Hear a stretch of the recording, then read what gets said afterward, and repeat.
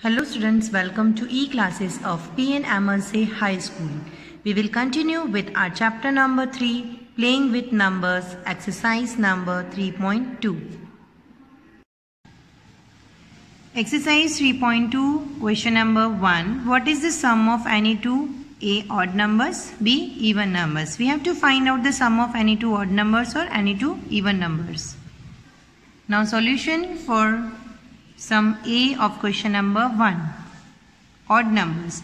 If we add any two odd numbers, what sum we will get? Solution for this is the sum of any two odd number is always an even number. See here odd number means the number which end with 1, 3, 5, 7, 9 and even numbers means the numbers which have the unit digit of 2, 4, 6, 8 and 0. Therefore, if we add any two odd numbers, we get the answer with even number. Example 5 plus 7 is equals to 12. 5 is also an odd number, 7 is also an odd number. By adding these two odd numbers, we get the answer which is an even number. Solution for B of question 1. If we add any two even numbers, what sum we will get? Sum of any two even number is always an even number. By adding any two even numbers, we get the answer which is an even number. Example 2 plus 6 is equals to 8. 2 is also an even number, 6 is also an even number. By adding these two numbers, we get the answer 8 which is an even number. Now we move to question number 2 of exercise 3.2. State whether the following statements are true or false. In this A part, the sum of three odd number is even. We have to find out that the sum of three odd number means if we add three odd numbers, we get the answer as an even number. So the statement is false. If we take three, any three odd numbers, for example 5, 7 and 3, if we add them, we get the answer 15 which is an odd number. So the statement is false. B part the sum of two odd numbers and one even number is even. Here we have to add two odd numbers and one even number and the answer to that is an even number. The statement is true. For example, if we add two odd numbers, here 3 and 5 are odd numbers, if we add them and then we add one even number, 3 plus 5 is 8 and 8 plus 2 is 10. So 10 is an even number, so the statement is true. C part, the product of three odd number is odd. Here product means multiply. If we multiply any three odd numbers, we get the answer as a odd number. The statement is true.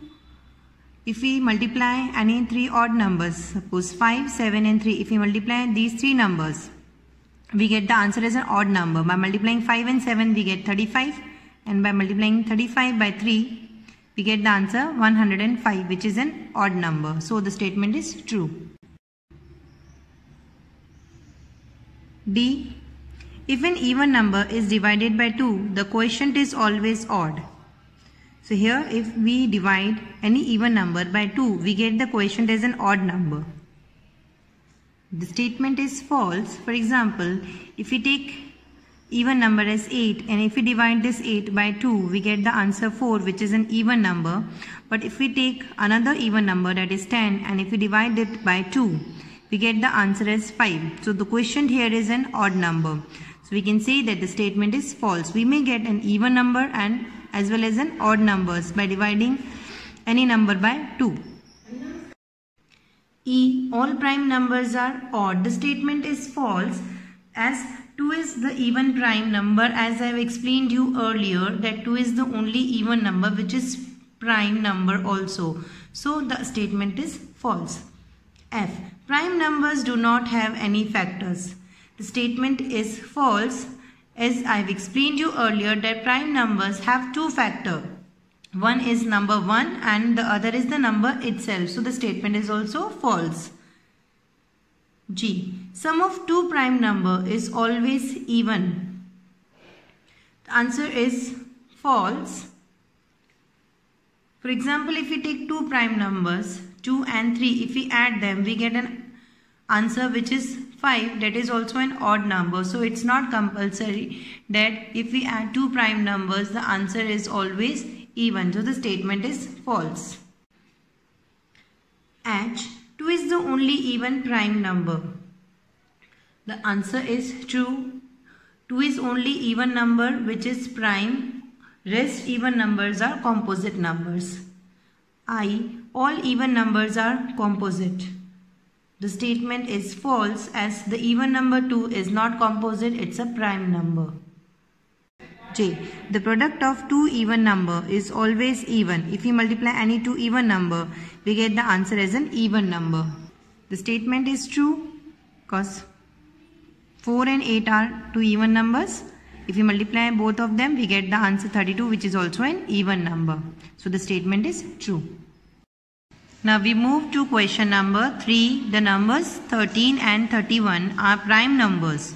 Both these numbers have same digits 1 and 3. Find such pairs of prime numbers up to 100.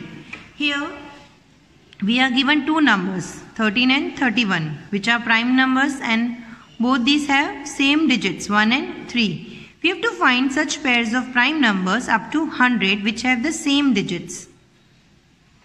Now solution for question number 3. Pairs of the prime numbers up to 100 which have the same digits are 17 and 71. Both of these are prime numbers and has the same num digits 1 and 7.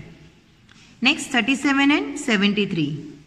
They both are also prime numbers have the same digits. Next is 79 and 97. We need numbers up to 100 only. So 79 and 97 are also prime numbers have the same digits. Now question number 4 of exercise 3.2. Write down separately the prime and composite numbers less than 20.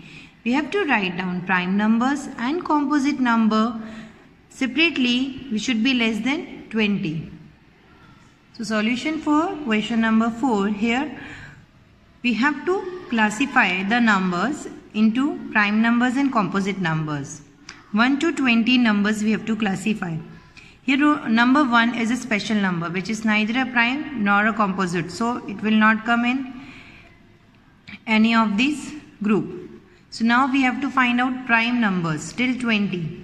So I've explained you earlier what is prime number. Prime number means the number which has only two factors. 1 and the number itself. So prime numbers till 20 are 2, 3, 5, 7, 11, 13, 17 and 19. Next composite number. Composite numbers are those numbers which have more than two factors. So 4, 6, 8, 9, 10, 12, 14, 15, 16 and 18 are composite numbers. With this we end our today's video and will continue with our chapter in the next video. Thank you.